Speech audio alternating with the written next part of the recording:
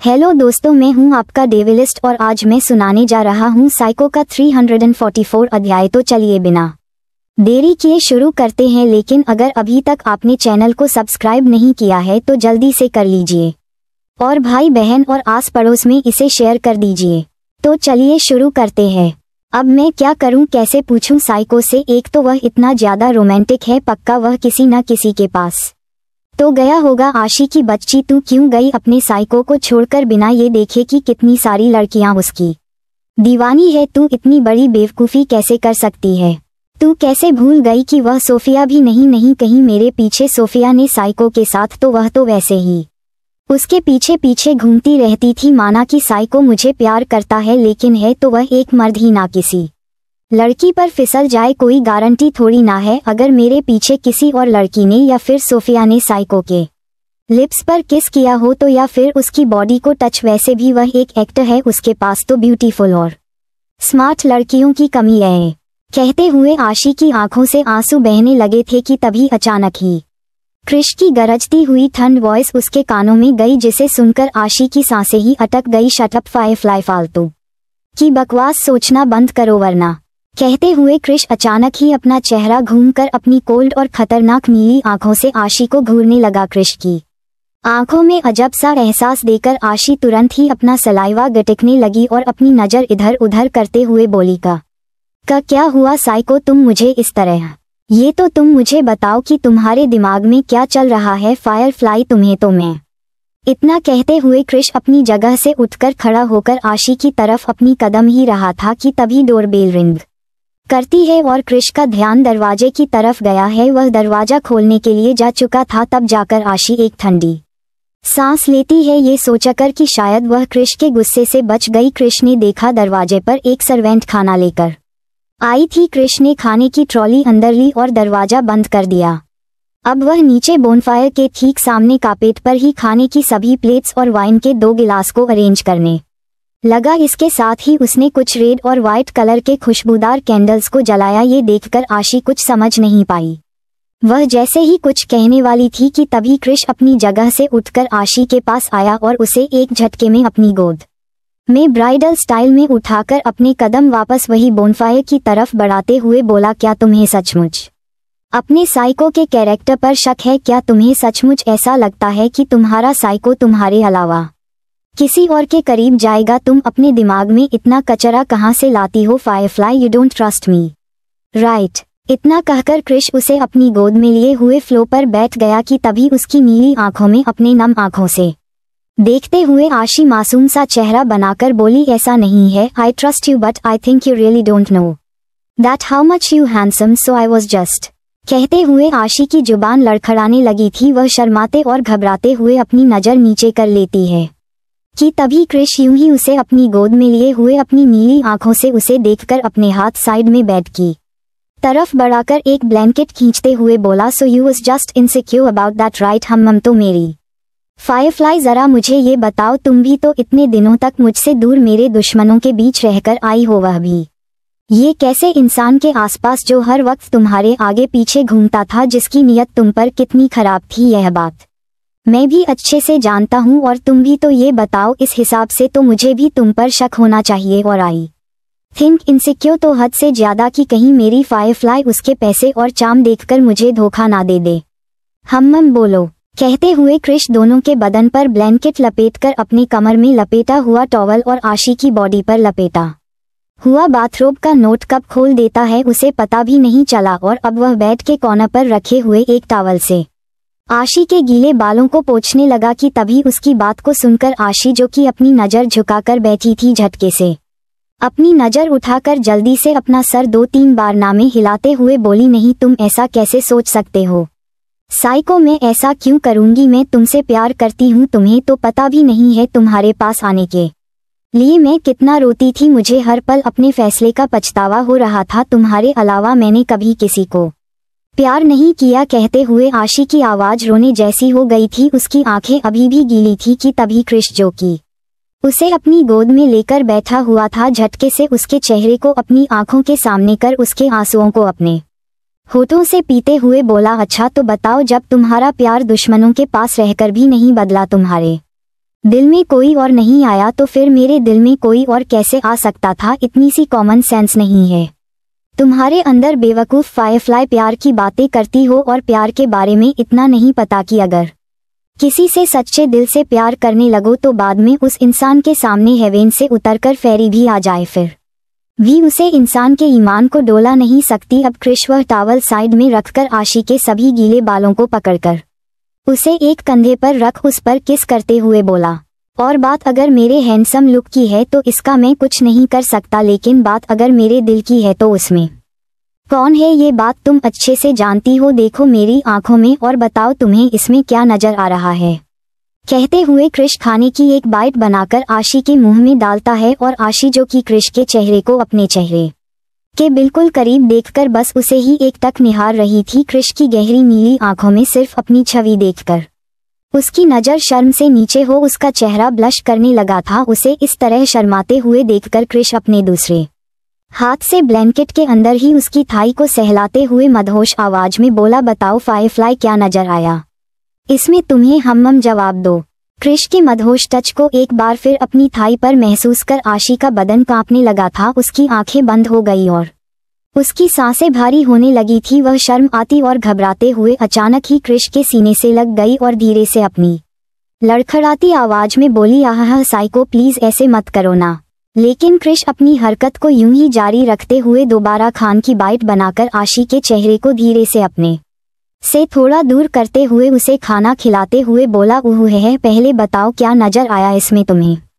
और अब आशी बेचारी जो कि अपने ही सवालों और बेवकूफ़ी में फंस चुकी थी, उसे अब खाना खाना फिर मुश्किल हो रहा था, क्योंकि उसे खाना खिलाते हुए क्रिश का हाथ अंदर ही अंदर शरारत कर रहा था, जिसके कारण आशी को खाना भी अटकने लगा था। वह बड़ी मुश्किल से अपना चेहरा इधर उधर करते हुए गालों की लाल रंगत को छुपा कर किसी तरह खाना खाते हुए बोली सस साई को तुम ना हम बताओ। सस साई को तुम ना, तुम तुम बहुत बहुत मेरा मतलब तुम भी बहुत हम बोलो फायरफ्लाई में बहुत कहते हुए आप क्रिश के होठ आशी के गले और क्लीवेज पर चलने लगे जिसके कारण आशी को उसकी गोद में बैठना भी मुश्किल हो रहा था और अब जाकर आशी को एहसास हुआ कि क्रिश उसे बिना किसी हेसिटेशन के छू रहा है। उसने धीरे से अपनी नज़र ब्लैंकेट के अंदर डाली तो उसकी आँखें फैल गई क्योंकि इस वक्त वह दोनों बहुत ही शर्मनाक कंडीशन में थे। हमेशा की तरह अब आशी का चेहरा पूरी तरह शर्म से पानी पानी हो रहा था वह घबरा कर अपना सलाइवा घटते हुए कांपती आवाज़ में बोली, साइको, तुम ना। हम आगे भी बोलो फायर फ्लाई में क्या? आह, साइको, तुम ना, तुम भी खाना खा लो ना, प्लीज़, तुम्हें भी तो बहुत भूख लगी होगी, कहते हुए ऐसी बहुत ही जल्दी जल्दी अपनी घबराती हुई आवाज़ में सब बोल देती है, लेकिन उसकी बात को सुनकर क्रिश, जो कि अब काफ़ी रोमांटिक मूड में आ चुका था और आशी के मुँह से न जाने क्या सुनना चाहता था, झटके से अपनी नज़र उठाकर आशी को हैरान नज़रों से देखने लगा। आशी उसकी आँखों में सवाल को समझ चुकी थी, लेकिन उसने तुरंत ही शर्माते हुए, बिना क्रिश की तरफ़ देखे, तुरंत खाने की प्लेट से बीते बनाकर क्रिश के मुँह में थेल दी, लो खाओ।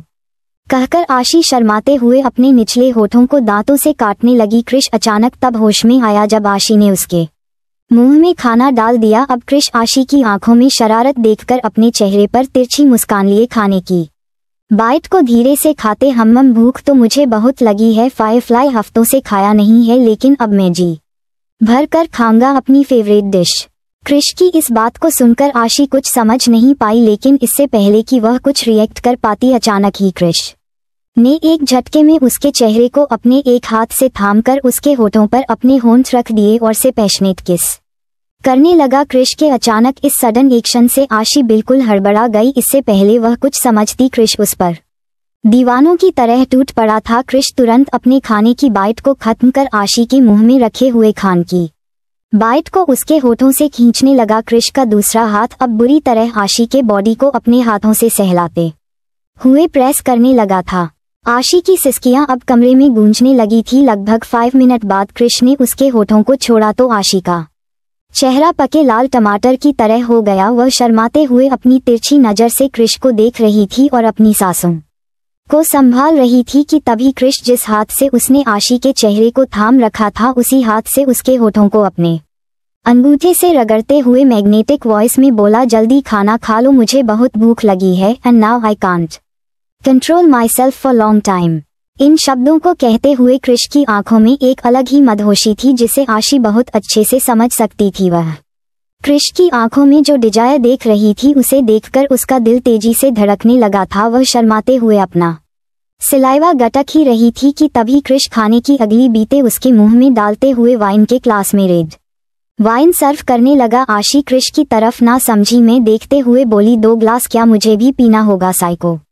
Don't you dare this is only for psycho and you have to drink only psycho इतना कहकर कृष आशी की आँखों में देखते हुए वाइन को अपने होठों से लगा लेता है। इसके साथ ही वह आशी को खाना खिला रहा था कि तभी आशी खाने की बाइट बनाकर कृष के होठों की तरफ़ लगते ही वाली थी कि तभी कृष यूँ ही उसकी आँखों में देखते हुए आशी के हाथों से खाना खा लेता है, लेकिन इसके साथ ही उसने आशी की उंगली पर बाइट कर लिया। आह को कहकर आशी तुरंत अपनी उंगली पीछे खींच लेती है, लेकिन कृष तुरंत उसकी उंगलियों को पकड़कर उसे अपने मुँह में डाल काफ़ी बुरी तरह शक करने लगा। वह उसे अपनी जीभ से लिख कर रहा था।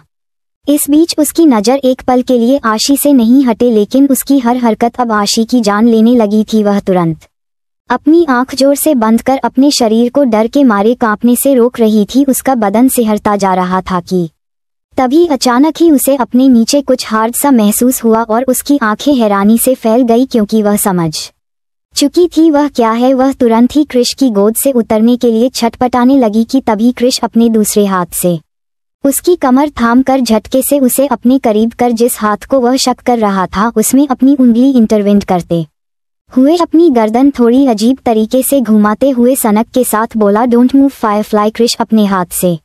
उसके हाथ को छोड़कर पास में रखा हुआ वाइन का गिलास लेकर आशी के कंधे पर हुए उसे अपने होठों से। शक करते हुए बोला, तुमने खा लिया, अब मेरी बारी है। आशी क्रिश के होठों को एक बार फिर अपने बदन पर महसूस कर लंबी लंबी सांस लेने लगी। क्रिश एक के बाद एक वाइन का ग्लास और फिर बोतल आशी के गले और कंधे पर उधेलने लगा। इसके साथ ही वह अपने होठों से उसे पी रहा था।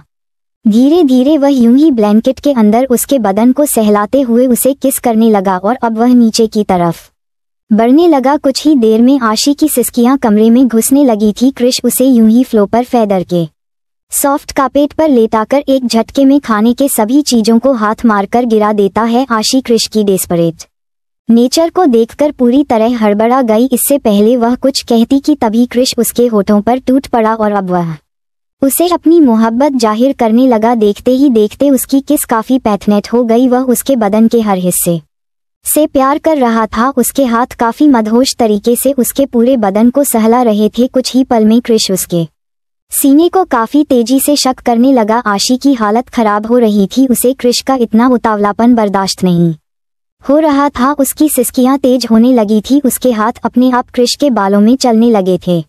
आग की रोशनी से बन रही परछाई जो कि दीवार पर पड़ रही थी, वह दिखने में ही काफ़ी रोमांटिक नज़र आ रहा था। उसे देखकर तो कोई भी शर्मा जाता क्रिश पूरी तरह आशी में खोने लगा था। आह firefly you are so soft my love I want eat you so badly I am going to F you so hard you are really driving me crazy कहते हुए क्रिश पूरी तरह दीवाना हुआ जा रहा था। वह आशी की बॉडी के हर हिस्से को चूम रहा था, प्यार कर रहा। था और आशी भी न जाने क्यों अपने साइको को खुद से दूर ही नहीं कर पा रही थी दोनों के बदन पर ब्लैंकेट के। अलावा कुछ भी नहीं था, क्रिश को उसे प्यार करने में बिल्कुल भी देर नहीं हुई, वह धीरे धीरे नीचे की तरफ़ आने लगा कि तभी आशी की कमर को देखते हुए उसे कुछ याद आया, उसका चेहरा गुस्से से डाक होने लगा था।